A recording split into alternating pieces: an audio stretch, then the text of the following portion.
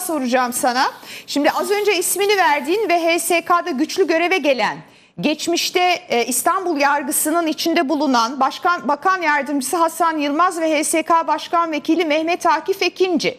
Bu iki ismin kendi rızası dışında atanması nedeniyle e, Saadet, Par- e, Saadet Partisi çizgisinden AKP'deki farklı bir kliki temsil eden Adalet Bakanı Abdülhamit Gül'ün istifa etmek istediği söyleniyor. İstifa etmek istediğini zannetmiyorum ama rahatsız olduğunu biliyorum.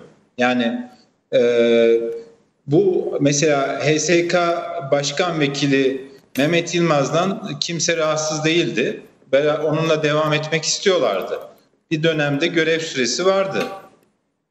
Yani e, onu oradan kaldırıp yerine onu getirmeleri ben önümüzdeki dönemde yargının e, nasıl bir e, pozisyon alacağının sinyali olarak görüyorum.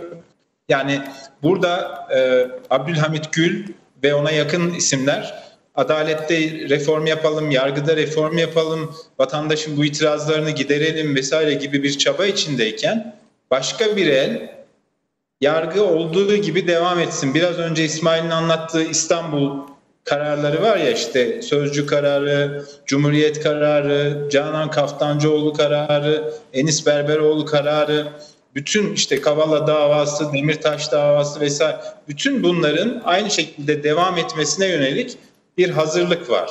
Önümüzdeki dönem mesela biz şimdi emniyet güvenlik açısından konuşuyoruz işte Soylu, Mustafa Çalışkan, işte eski bakanlar Efkan Ala vesaire. Bir de işin yargı boyutu var. Önümüzdeki dönemde benim gözlemim yargıda da Abdülhamit Gül'ün temsil ettiği reformcularla işte İstanbul ekibinin temsil ettiği e, böyle şey ne denir ona e, hani Şahinler. yargının gücünü evet Şahinler yargının gücünü güçlünün yargısını kullanacak Şahinler arasında bir ama ama İstanbul İstanbul'un şimdiki başsavcısı Abdülhamit Bey'e yakın. Evet o da öyle bir şey ama sonuç itibariyle e, önümüzdeki dönem bütün atamalara, tayinlere vesaire karar verecek dairenin başkan, başkanı İstanbul'dan biri olarak tercih edildi. Mehmet Yılmaz sosyal demokrat bir isim. E, bu hak yol, sosyal demokratlar, ülkücüler bir araya gelip FETÖ'yle mücadele etsinler, FETÖ'cüleri uzaklaştırsınlar diye kurulan koalisyonun temsilcileriydi. Yani Mehmet Yılmaz işte sosyal demokratları temsil ediyordu. Başka biri ülkücüleri te- temsil ediyordu. Başka biri hak yolcuları temsil ediyordu. Şimdi e, oradaki denge de bozuldu. Yani HSK'daki o e, ya bir birçok tartışmalı kararın altına sırf FETÖ ile mücadele gerekçesiyle imza attı HSK. Ama e, bütün Türkiye'nin birçok yerinde, birçok alanda olduğu gibi burada da bir kullan gönder durumu yaşandı.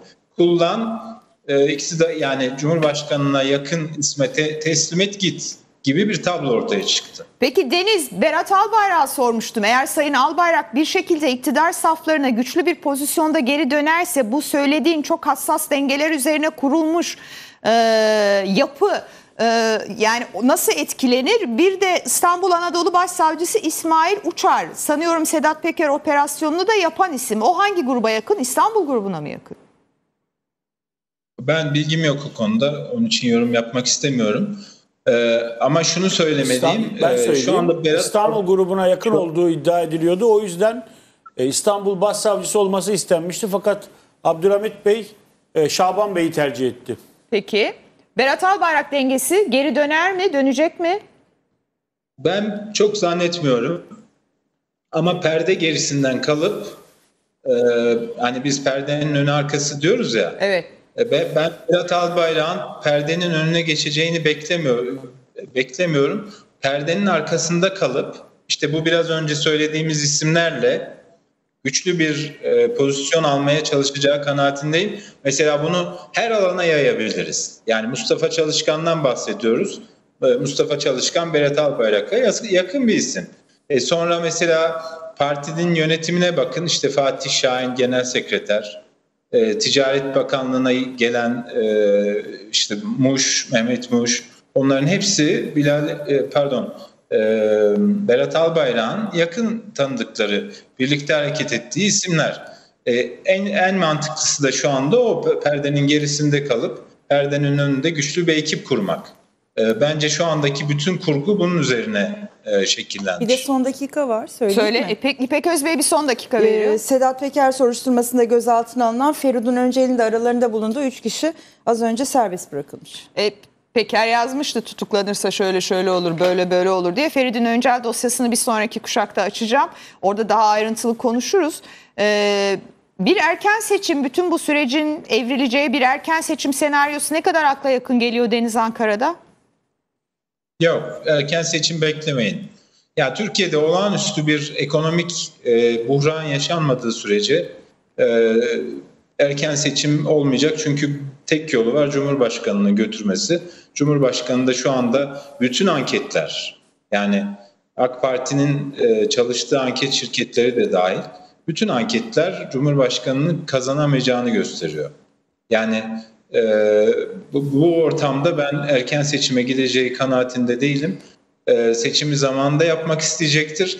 Ha şöyle bir şey olursa mesela şimdi toparlandı biraz işte para basıldı, dolar düştü vesaire hani turizm gelirleri arttı. Hani bir rahatlama vesaire falan yaşanırsa e, kesenin ağzı açılabilir e, seçim ekonomisine dönülebilir. Onu, onun da şu anda koşulları yok. Yani koşulları olursa bir sene önce falan yapılabilir belki ama ben yani hala ısrarlıyım iddia ediyorum. Seçim 2023 Haziran'da yapılacak. Benim son sorum Cemil Çiçek'le ilgili ama meslektaşlarımız arasında İsmail İpek veya Hakan'ın bir sorusu varsa onlara da ekranı e, açalım son e, dakikalarımızda. Cemil Çiçek bugün bir çıkış yaptı. Aslında ilk defa da yapmıyor bu çıkışı. Sayın Soylu ile ilgili gündemler oluştuğunda her seferinde böyle çıkışlar yapıyor ve bugün de dedi ki ortalıkta çanta çanta paralarla ilgili iddialar var. E, bunlar konusunda ne kadar daha sessiz kalınabilir dedi. Sen nasıl okudun mesela bu açıklamayı? Sence bu açıklama bireysel bir inisiyatif kullanımı mıdır yoksa Sayın Cumhurbaşkanı ile yine istişare edilerek yapılmış bir açıklama mıdır? Yok. Ben size bir şey söyleyeyim. Bunu da bilerek söylüyorum. Yani kafadan atmıyorum. İşte Yüksek İstişare Kurulu'nun hiçbir üyesi Cumhurbaşkanı'na bu konuları doğrudan dile getiremiyorlar. Hepsi Bülent Arınç'ın başına gelenlerin kendi başlarına geleceğinden emin oldukları için bu tür konulara girmiyorlar. Ee, yani hele hele böyle köşeli laflar ya ayda bir kere toplanıyorlar zaten. O toplantılarda da böyle köşeli laflar etmiyorlar. Dolayısıyla ben Cemil Çiçek bu konularda hassastır. Yani Cemil Çiçek e, e, hukukçudur. Yani birçok bir konuda eleştirebilirsiniz ama hukuk devleti konusunda bir duruşu var. Dolayısıyla da bu serzenişinin o bakış açısından kaynaklandığını düşünüyorum. Ama şunu da söyleyeyim size. Yani e, şu son bir haftada belki yani 10 ayrı masada oturdum. En az 5-6 milletvekilinin olduğu. Ee, bu hep bu konuşuluyor. Hepsinin gündeminde bu var. Ya mesela ben herkese şunu soruyorum. Ya Metin Külünk konusunda Cumhurbaşkanı ne diyor, ne düşünüyor? Yani bu kadar açık ve net bir tablo var onunla ilgili. O sessizliğe bürünmüş. Ama yani MYK'da, AK Parti MYK'sında e, kimse demiyor mu? Ya efendim bizi zan altında bırakıyor, başka milletvekillerini zan altında bırakıyor. Bir adım atsın e, demiyor musunuz? Hayır demiyoruz.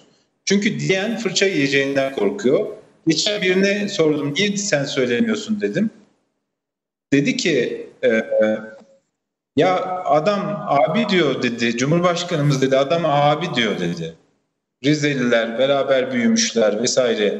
Yani e, onu ona şikayet yani Metin Külünk'ü Cumhurbaşkanına şikayet etmek e, hani peşin peşin e, fırça yemektir. Cumhurbaşkanı mı Metin Külünk'e abi diyormuş? Öyle bir ya ya da o ona abi Yaşça diyor. büyüktür yani. Aralarında... Metin Külünk küçüktür ondan ya. Ya işte o zaman Metin Külünk Cumhurbaşkanı abi diyor. Yani Ha. Rize'de Akıncı şeyi mi bilmiyorum İsmail sen daha iyi bilirsin. Ee, bir e, bir ekibin parçası olmuşlar gençlik yıllarında. Akıncı, Aynı, Akıncı, e, Ocak'tan- ha, Akıncı gençlik, Akıncı gençlik. Aynı ocaktan e, çıkmışlar, orada büyümüşler, orada siyaseti öğrenmişler. Dolayısıyla da bu hukukun e, karşısında kimse böyle bir şey yapmaya cesaret edemiyorlar. Yani e, onun için de konuşmakla yetiniyorlar. Ben bu mevzuların e, ete kemiğe bürünmesini beklemiyorum. Yani bu iktidar devam ettiği sürece isterse böyle somut kanıtıyla, deliliyle vesaire ortaya çıksın, ortaya konulsun. e, Bir e, adım atılacağını düşünmüyorum. Çünkü şunu çok iyi biliyorlar. Tıpkı o dört bakan meselesindeki gibi hatırlayın Ahmet Davutoğlu onları Yüce Divan'a göndermek istiyordu. Son dakikada Zafer Çağlayan'ı Cumhurbaşkanı'na gönderdiler. Cumhurbaşkanı telefon edip komisyona müdahale etti ve soruşturma e, ya dönüşmesini engelledi. Burada da aynı durum var. Yani o, o kapıyı araladık mı üstünden gelemeyiz, durduramayız gibi bir kaygıları, korkuları var. E, bu nedenle de e, ben AK Parti iktidarda olduğu sürece hiçbir savcının, hiçbir e, AK Parti yönetim mekanizmasının, disiplin mekanizmasının vesaire işletilmeyeceğini düşünüyorum. Pek. Benim Deniz Zeyrek var. var mıydı? Evet. Peki reklama kaç dakika Onurcuğum bana hatırlat İpek lütfen.